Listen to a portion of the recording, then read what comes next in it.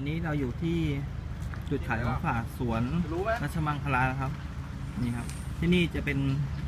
แหล่งขายของสดนะครับ ผลไม้สดท้อสดข้าวนะครับ มัน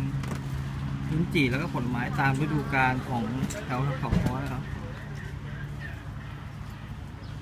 นะครับโอคาโดโลละห้าสิบแล้วก็มีพวกมะละวะเอ้ยฟักแมวนะครับห รือมะละหวานแล้วก็เห็ดต่างๆเราเราขับเสื้อผ้าเด็กของฝากเด็กก็มีอืมลิ้นจีผูกนะครับคือถูกว่าในเมืองครึ่งกับครึ่งเลยทีเดียว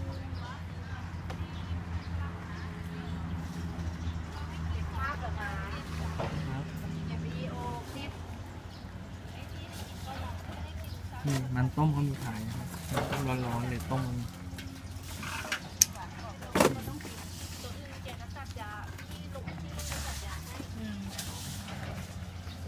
ก็จะลานไปห้านี่ทีละจะ